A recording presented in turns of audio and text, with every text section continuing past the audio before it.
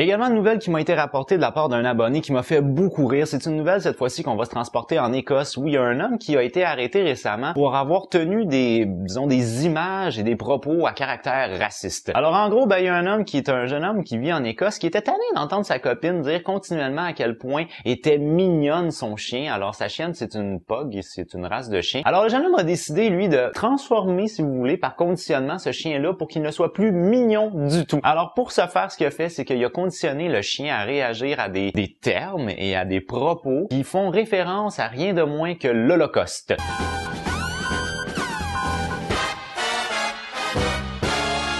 Alors, il a transformé le chien en une espèce de dictateur nazi qui répondait entre autres à la phrase de gazer les juifs et qui faisait le salut nazi. See Kyle.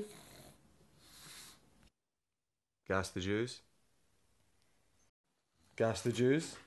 La communauté juive écossaise a commencé à lancer des propos comme quoi euh, on incitait à la haine à l'égard de leur communauté, etc., etc. Alors, ce qui devait être une blague s'avère être un commentaire raciste, et ce qui a comme répercussion de se faire arrêter. Alors, franchement, communauté, peu importe ce que vous mettez sur les réseaux sociaux, je vous le dis, je vous le jure, vous devez faire attention parce que les propos que vous dites sont souvent repris de manière totalement divergente de votre intention initiale. C'est une c'est une race de chien. Alors, le jeune homme a décidé, lui, de transformer, si vous voulez, par conditionnement ce chien-là pour qu'il ne soit plus mignon du tout. Faire, mais en gros, qui vient remanier tous les principes de droit par rapport au travail. Et c'est un projet de loi qui, on va se le dire, est très controversé.